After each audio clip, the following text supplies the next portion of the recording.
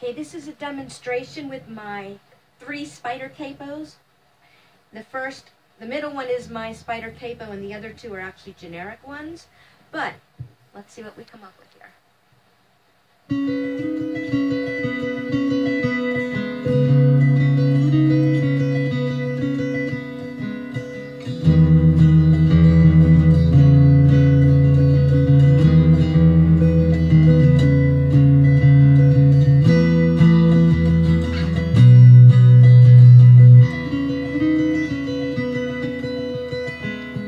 Thank you.